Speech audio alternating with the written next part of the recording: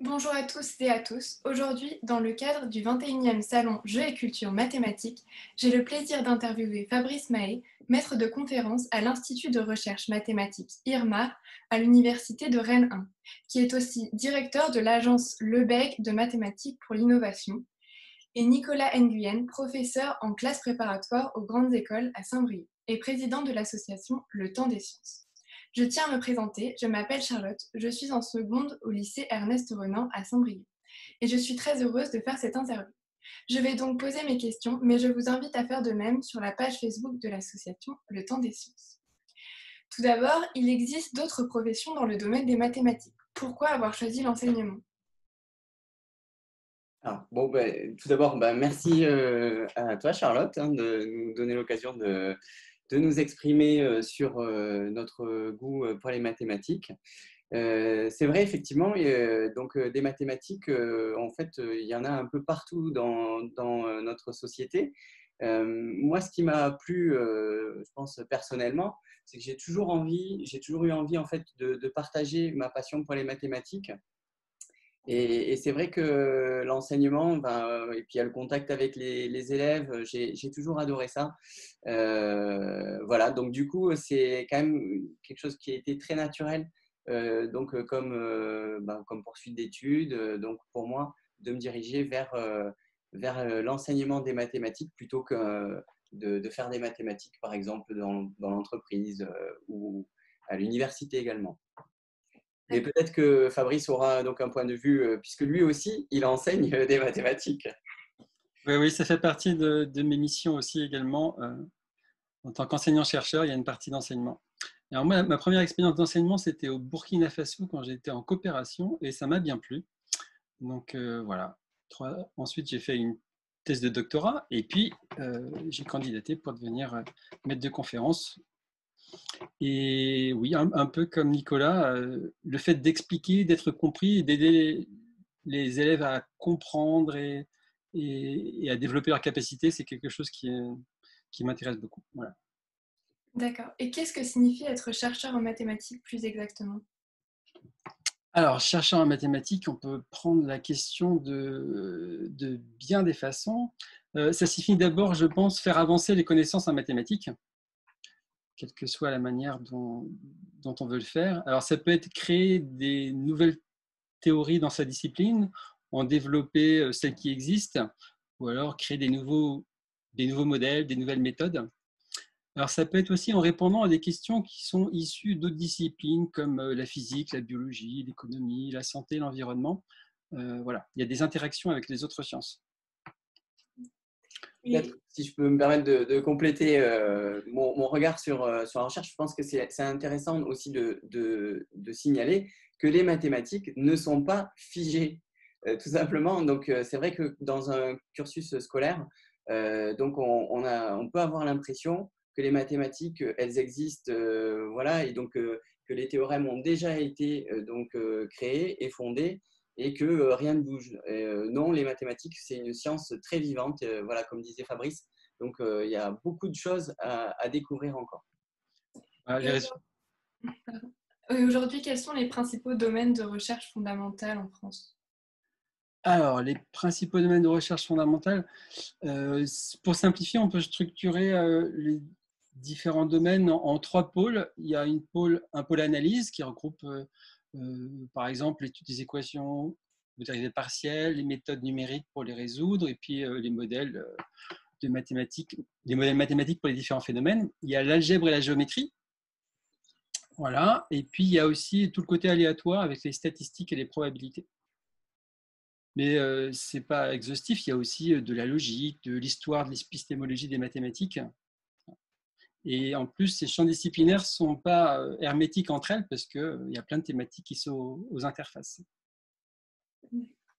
Est-ce qu'avec le progrès de l'intelligence artificielle, les domaines de mathématiques effectués par l'homme vont se restreindre? Ah, alors euh, oui, c'est la question du mathématicien virtuel. Est-ce que les mathématiciens vont créer un, cerveau artificiel qui va les remplacer? Je pense que ce n'est pas pour tout de suite. Euh, si on reprend la définition d'intelligence artificielle, elle est assez large. En fait, c'est l'ensemble des théories et des techniques qui sont mises en œuvre en vue de réaliser des machines capables de simuler l'intelligence. Alors, c'est très large parce que, par exemple, la calculatrice, c'est de l'intelligence artificielle, puisque ça simule la capacité de faire des calculs, maintenant des graphiques, etc. Et donc, il y a un grand développement aujourd'hui parce qu'il y a eu euh, des moyens informatiques et des grandes bases de données qui ont été développées. Et ça permet de faire ce qu'on appelle maintenant des apprentissages automatiques, soit qui sont supervisés, soit qui ne le, sont pas. Et euh, par exemple, pour faire de la reconnaissance d'images euh, ou pour développer des, des, des, comment dire, des algorithmes ou des programmes euh, qui jouent à certains jeux, comme le jeu d'échecs, le jeu de Go, etc.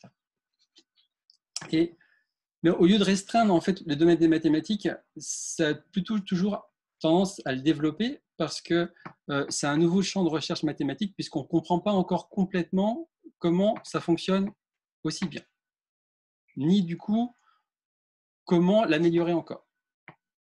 Donc c'est tout un champ de, recherche qui se développe. Ben, un, peu comme à chaque fois quand on, développe des recherches mathématiques, plus on obtient des réponses, plus on a de questions qui se posent. C'est comme quand on gonfle un ballon, quoi. la surface augmente au fur et à mesure. Très bien, merci.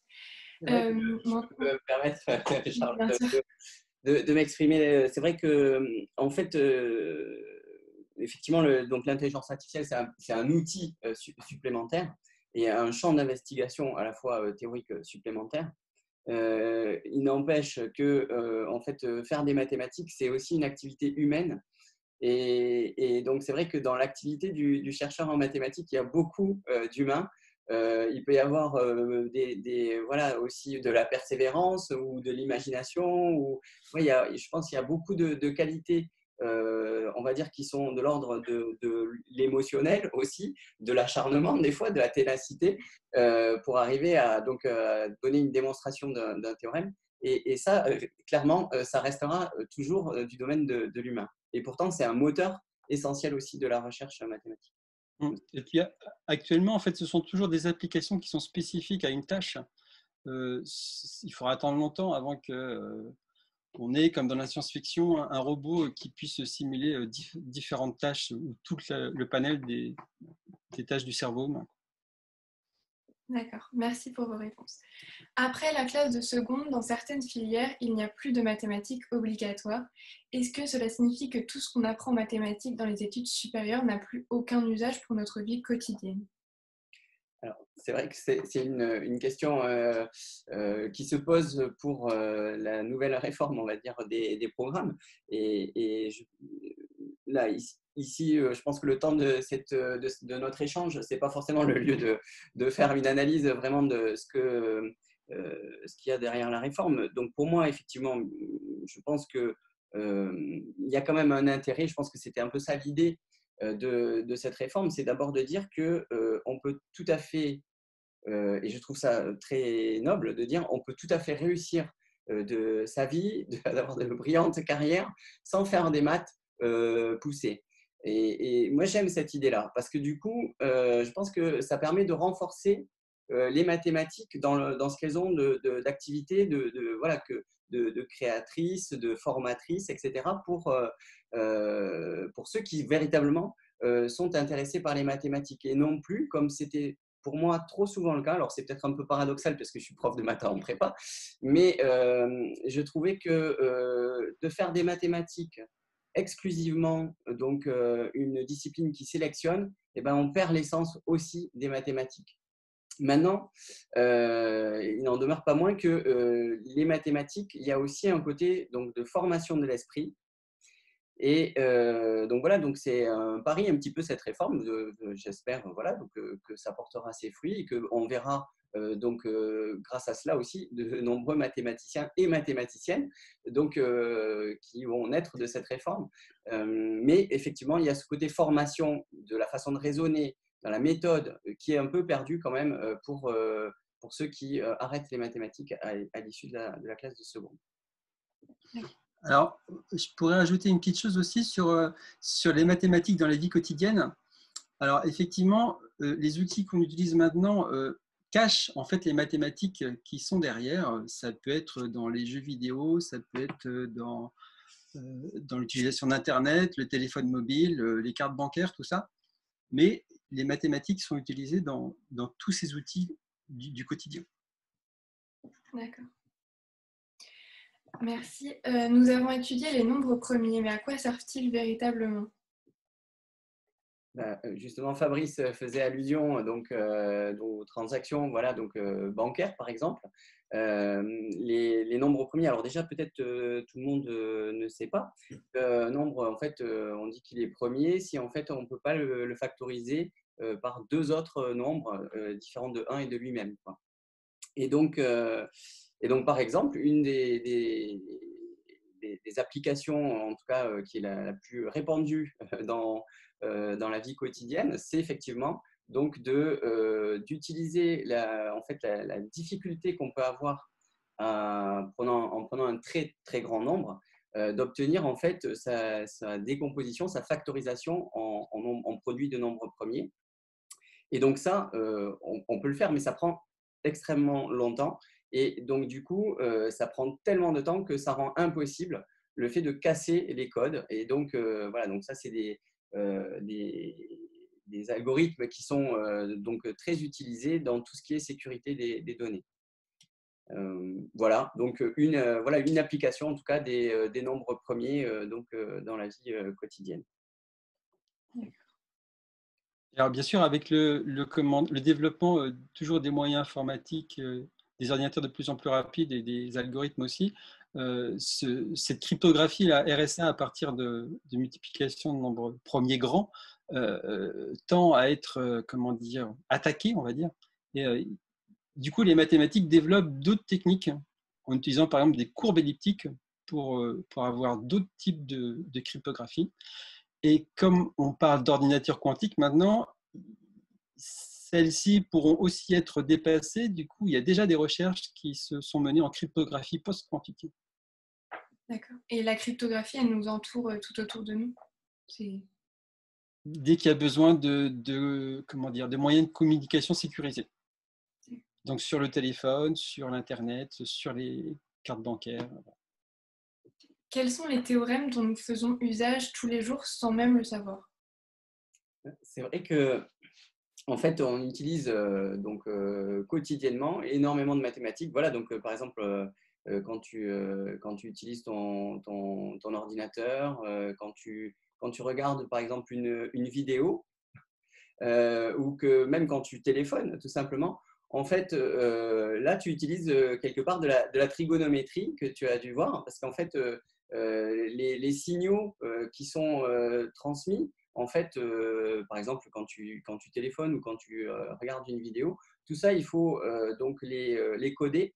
Et donc, euh, les codages sont, sont, très gourmands et très friands de, trigonométrie, euh, notamment pour décomposer donc, euh, un signal, une, voilà, un signal en une somme de, de, fonctions trigonométriques, sinus et cosinus, que tu as dû voir, je pense, en classe cette année, peut-être.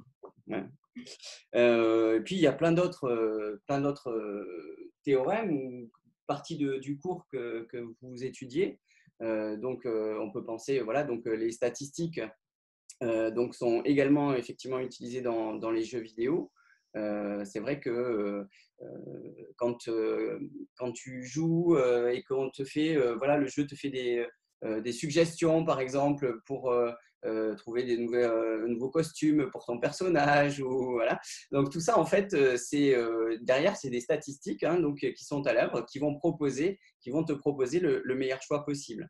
et puis, surtout, dans l'animation, c'est vrai que donc notamment la, 3D, hein, tous les jeux 3D, mais également le, cinéma. On voit bien que le cinéma maintenant, il y a, ça devient presque du jeu vidéo tellement les, les, images sont, sont virtuelles.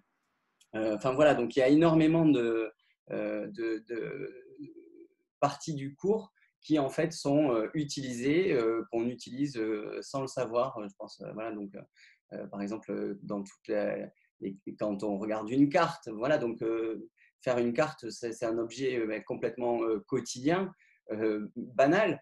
Euh, sauf qu'en fait, on est quand même en train d'essayer de représenter quelque chose qui est sur une sphère, quoi, grosso modo, euh, sur un plan. Et donc derrière, il y a, euh, des, théories mathématiques de géométrie pour projeter donc la surface de ta sphère sur un plan. Ou même par exemple, quand tu prends l'avion, voilà, donc quelles sont par exemple les, trajectoires de tes avions, des avions, etc.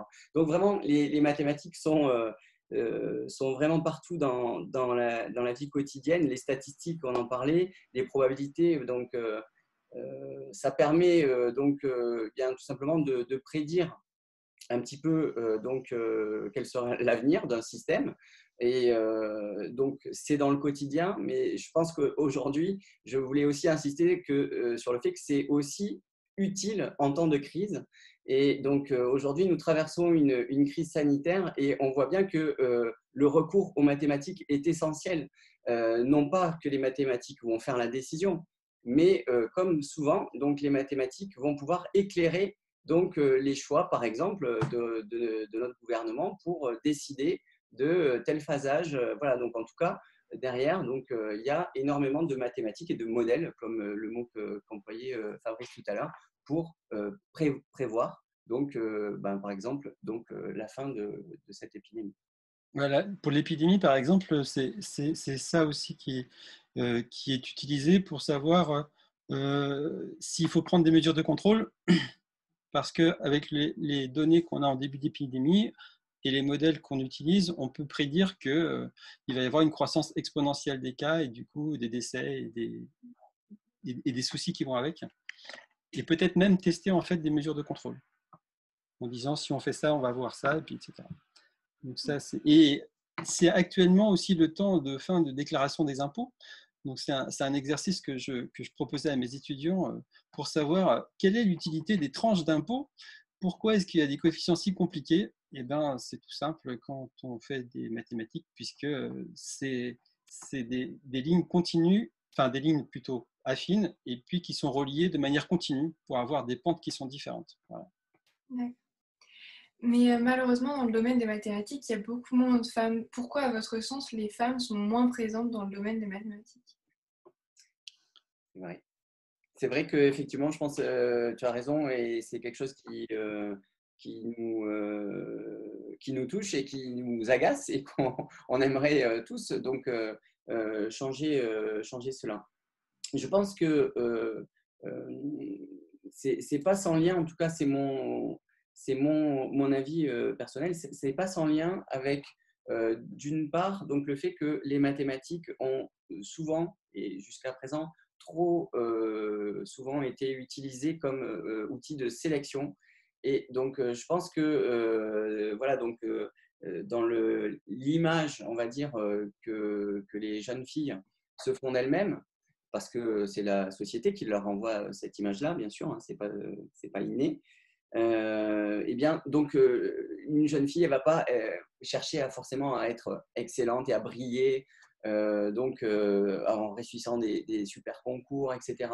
Et, je pense que, voilà, donc il faut peut-être donc essayer de sortir de cette façon de, de, concevoir des mathématiques pour sélectionner et vraiment valoriser donc, voilà, donc les mathématiques dans tout ce qu'elles ont de, plus, de plus beau, de plus stimulant intellectuellement, et parce que, euh, bien sûr, il n'y a absolument aucune raison objective qui permette de justifier, c'est par là que j'aurais dû commencer, bien entendu, il n'y a aucune raison objective pour justifier un tel écart. Donc, ça veut dire que cette, cet écart-là ne, peut se mesurer que par des raisons euh, voilà, qui ont été acquises par euh, les jeunes filles. Je ne pense pas que ce soit forcément une contrainte d'une personne, mais c'est simplement une image qui leur est renvoyé par, euh, par la société. Et donc, donc voilà, donc c'est quelque chose qui doit se travailler très, très en amont. voilà, donc c'est vrai qu'il faut changer un petit peu cette, cette façon que les jeunes filles, par exemple, c'est mal vu d'être égoïste. Je, vois, moi, j'ai des, tu sais, j'ai des jeunes adultes et, dans mes classes, et c'est vrai que pour un, garçon, je veux dire, ça lui posera pas de problème de dire bah oui voilà je me suis euh, je me suis un peu ramassé mais c'est parce que vraiment j'ai pas travaillé du tout quoi et euh, voilà donc une, jeune fille voilà au jour d'aujourd'hui elle dira jamais ça elle va dire plutôt bah oui j'ai travaillé mais j'ai pas réussi Alors qu'en fait, si tu veux, c'est tout à l'inverse. Et, et c'est ça qu'il faut arriver à changer. Voilà. Et c'est pas facile. Donc, il faut vraiment promouvoir donc les mathématiques chez les jeunes femmes. Et je voudrais souligner le, travail d'une association, juste pour terminer, Fabrice, qui s'appelle Femmes et mathématiciennes, qui œuvre voilà, donc pour changer ces, ces carcans qui pèsent sur les jeunes filles. Non, ce que je voulais dire, effectivement, mais tu l'as dit un peu, c'est que ce n'est pas parce que les femmes auraient moins d'aptitudes mathématiques. Ah oui. C'est parce qu'ils choisissent d'autres métiers. Donc, c'est. Enfin, voilà. Et, je pense que l'important, c'est que toutes celles qui les souhaitent puissent accéder aux études et aux emplois en mathématiques comme, ils le peuvent. Mais euh, ce n'est pas, pas, parce qu'il n'y en a pas non plus. Hein. À l'université, 22% des mathématiciens sont des femmes. C'est pas. C'est pas normal. non, c'est pas, pas normal. C'est que c'est pas non plus qu'il n'y en a pas. Et que la voie est disponible. Enfin, je veux dire, toutes les femmes qui, qui veulent venir sont bienvenues. D'accord, merci beaucoup. Il y, a, même des règles de parité qui sont, qui sont décidées pour favoriser euh, leur participation. Mais euh, au-delà de l'apprentissage de formules et de théorèmes, quels sont les savoirs et les atouts intellectuels que l'on acquiert grâce aux mathématiques? Alors, euh, ils sont tous sont pas comment dire spécifiques aux mathématiques, mais on, peut citer la logique, le raisonnement rationnel, et puis la capacité d'abstraction qui va avec la synthèse. Euh, l'aptitude aussi à justifier ce qui est dit, parce que quand on fait des démonstrations, on apprend à, justifier de manière euh, raisonnée euh, pourquoi on le dit, à différencier aussi ce qui est de l'ordre des hypothèses, des résultats et du coup de la démonstration. Voilà, de ne pas prendre une hypothèse comme un résultat, quelque chose de monté. voilà. Donc la capacité à expliquer sa démarche et ses résultats, mais alors c'est peut-être moins visible au lycée, mais il y a aussi tout ce qui est créativité, créativité pardon, imagination, persévérance, parce que ce n'est pas toujours immédiat d'obtenir des résultats. Et puis peut-être pour finir, une aptitude à aborder d'autres sciences qui utilisent des mathématiques. Par exemple la physique, la mécanique, les sciences de l'ingénieur, la biologie. Merci beaucoup à vous deux d'avoir pris le temps de répondre à mes questions. Et euh, ceux qui nous regardent, n'hésitez pas à poser des questions sur la page euh, Facebook de l'association Le Temps des Sciences. Très bien. Merci à toi, Charlotte. Est-ce qu'on peut te, poser une question à notre tour ou euh, on retourne un peu les rôles Et toi, alors, comment voilà, donc est-ce que tu, tu, apprécies les mathématiques et qu'est-ce qui te plaît dans les mathématiques voilà, Je rappelle que tu es en seconde. Euh, j'aime beaucoup les mathématiques. Je ne sais pas pourquoi particulièrement, mais c'est quelque chose qui m'intéresse. Et euh, faire des exercices, comprendre la logique des choses, je trouve ça intéressant. C'est vrai. Et puis par rapport à ce que disait Fabrice sur euh, ce qu'apporte comme, comme, comme compétence, entre guillemets, donc les mathématiques, moi, je, en tout cas, c'est peut-être un peu personnel, mais il y a aussi une forme d'honnêteté intellectuelle parce qu'une démonstration, ça, ne ment pas. Donc voilà, soit ça, tient la route, soit c'est faux. Et, et ça, c'est un exercice aussi euh, voilà, du mathématicien de, se dire, ben voilà, donc j'ai une preuve, ça c'est béton. Et, tant que ce n'est pas prouvé, eh ben, ça reste à démontrer. On a une question sur la page Facebook. Les mathématiques peuvent-elles être utilisées comme un outil d'aide à la décision? Bah, oui, beaucoup. C'est beaucoup utilisé dans les entreprises dans ce sens-là, euh, euh, soit en utilisant des statistiques, euh, soit en utilisant d'autres modèles déterministes. Et alors quoi, par exemple Eh bien, si on optimise la distribution d'une usine, enfin d'une usine de distribution d'eau, pour savoir quand est-ce qu'il faut allumer les pompes pour que ça coûte le moins cher, eh ben voilà, on fait un modèle, on cherche euh, la, configuration euh, optimale et puis du coup, on a des, outils pour décider de, ce qu'il faut faire pour, pour cette usine. Peut-être pour rappeler aussi, donc, euh, dans, les, dans les outils d'aide à la décision, oui, effectivement, les, mathématiques permettent, permettent ça. bon, il faut quand même rappeler aussi tout le côté militaire. Donc, c'est vrai qu'il y a eu beaucoup de mathématiques qui ont été développées euh, l'Internet également, euh, mais, mais, aussi des mathématiques qui ont été développées euh, donc, en tant que stratégie Et donc là, on est vraiment dans l'aide à la décision de façon un peu plus soft et, pacifique, même si ça peut être voilà, donc dans l'entreprise.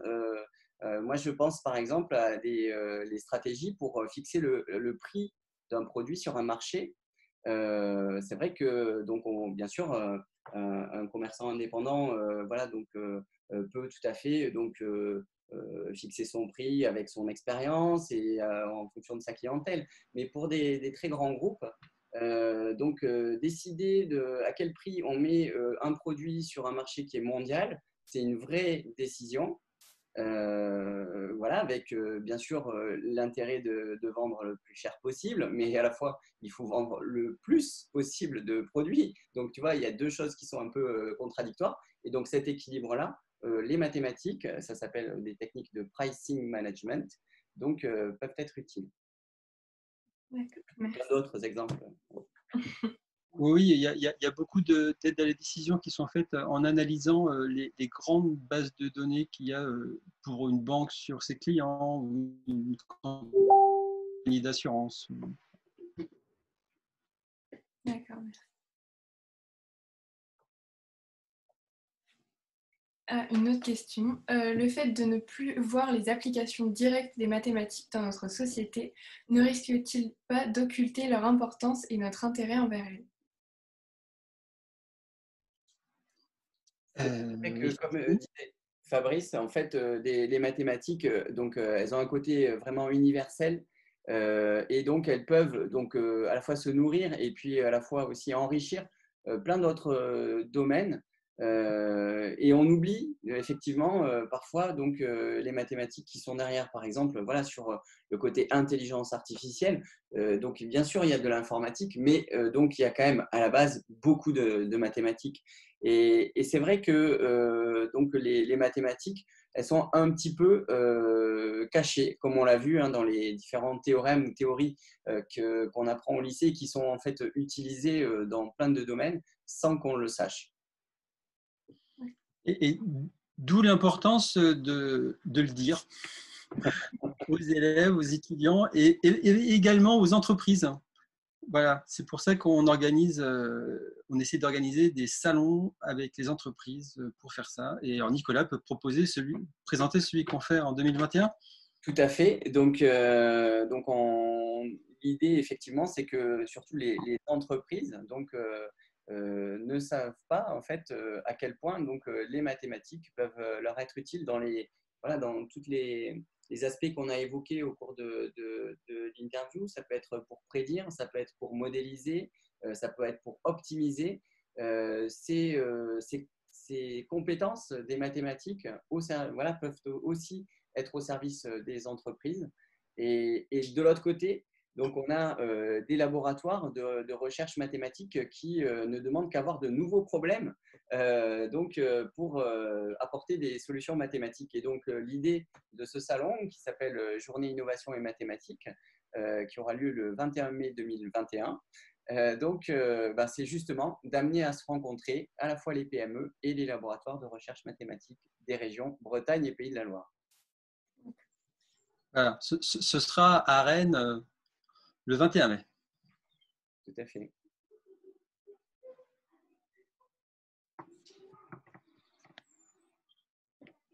Bon, il n'y a plus l'air d'avoir beaucoup de questions. Merci à tous d'avoir regardé et merci à vous deux d'avoir répondu à mes questions. Merci Charlotte. Merci Charlotte. À bientôt. Au revoir.